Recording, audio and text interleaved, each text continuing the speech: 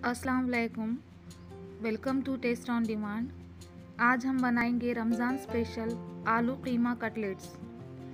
बहुत ही मज़े के बनकर ये तैयार हो गए और बनाना भी इसे बहुत आसान है। बस इन टिप्स को फॉलो करें तो आपके आलू कीमा कटलेट्स बहुत ही परफेक्ट बनकर तैयार हो गए। तो रेसिपी को स्किप ना करते हुए पूरी देखें और वीडियो को एंजॉय करें। चलिए बनाना शुरू करते हैं आलू फीमा कटलेट्स। सबसे पहले हम लेंगे एक कढ़ाई और उसमें डालेंगे one tablespoon oil. Oil हमें ज़्यादा इस्तेमाल नहीं करना, अगर ऑयल ज़्यादा इस्तेमाल करेंगे तो कटलेट्स फट सकते हैं। अब हम इसमें ऐड करेंगे दो मीडियम साइज़ के प्याज बारीक कटे हुए और इसे ट्रांसपेरेंट होने तक हम फ्राई करेंगे। प्याज हल्की सी गुलाबी हो गई है, अब हम इसमें ऐड करेंगे अदरक लहसुन का पेस्ट वन टीस्पून।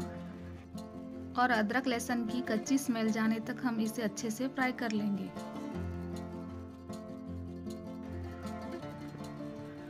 अदरक लहसुन अच्छे से फ्राई हो गया है। अब हम इसमें मसाले ऐड करेंगे। हल्दी ऐड करेंगे हाफ़ टी स्पून लाल मिर्च पाउडर टू टी स्पून और नमक डालेंगे टेस्ट के मुताबिक। इन मसालों को हम तेल में अच्छे से भूनेंगे। और इसमें ऐड करेंगे हाफ़ कप पानी।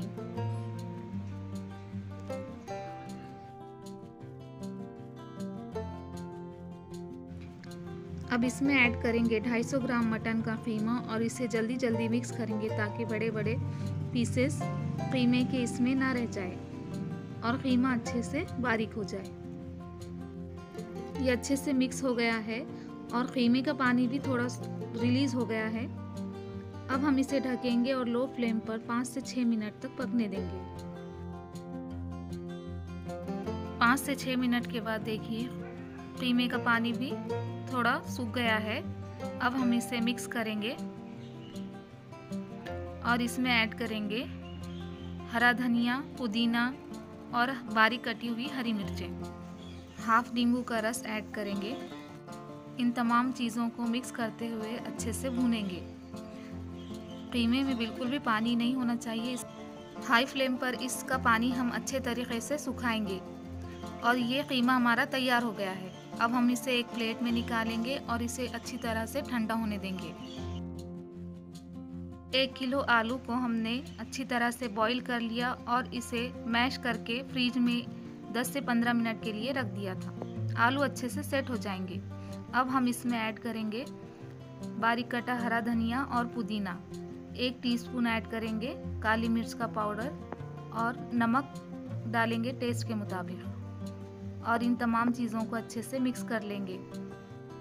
अगर आपको लगे कि मिक्सचर थोड़ा पतला है तो आप इसमें कॉर्नफ्लोर ऐड कर सकते हैं टू टेबल स्पून ये अच्छे से मिक्स हो गया है। अब हम इसे रख देंगे 10 मिनट के लिए फ्रीज में।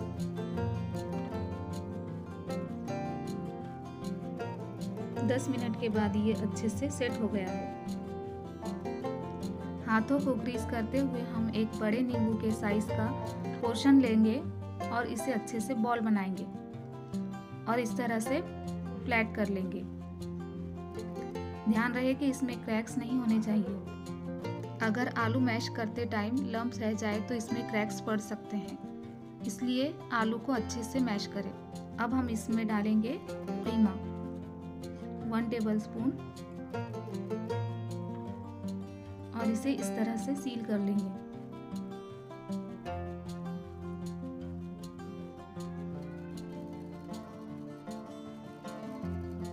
और इसे इस तरह से अच्छे से शेप दे देंगे। और ये तैयार है हमारा आलू कीमा कटलेट फ्राई करने के लिए। इसी तरह से हम तमाम कटलेट्स तैयार कर लेंगे।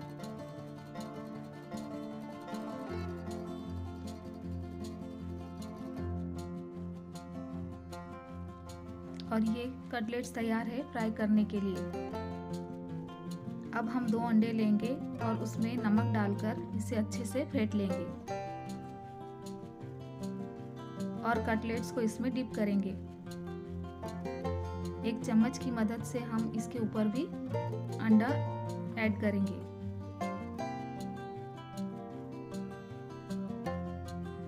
और इस तरह से हम ऑयल में इसे डाल देंगे।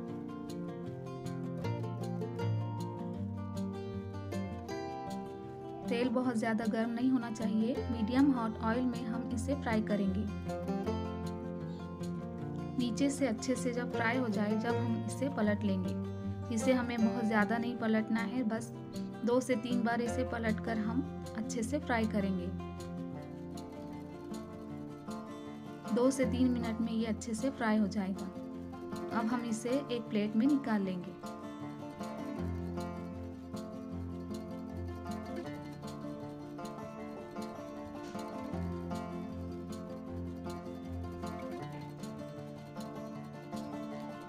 और ये तैयार हो गए हैं हमारे आलू प्रीमा कटलेट्स। आप चाहे तो इसे हाथ से भी डाल सकते हैं। हाथों की मदद से डालना इसे ज़्यादा इजी होगा।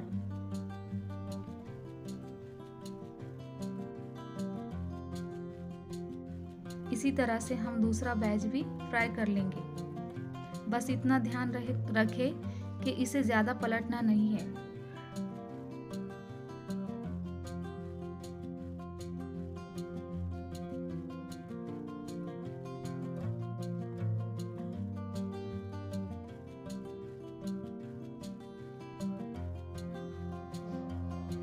आप देख सकते हैं कि ये कितने परफेक्ट बने हैं। बिल्कुल भी नहीं टूटे। आप लोग भी इन टिप्स को फॉलो करके ये रेसिपी को ज़रूर ट्राई कर सकते हैं। रमज़ान में इस रेसिपी को ज़रूर ट्राई करें। आप लोगों को ज़रूर पसंद आएगी। अगर वीडियो पसंद आए तो प्लीज़ लाइक करें, शेयर करें और सब्सक्राइब ज़रूर करें हमारे चैनल को। और बेल आइकन ज़रूर दबाएँ ताकि आने वाली वीडियोस की नोटिफिकेशंस आपको मिलती रहे। मिलते हैं नेक्स्ट वीडियो में। अल्लाह हाफिज़।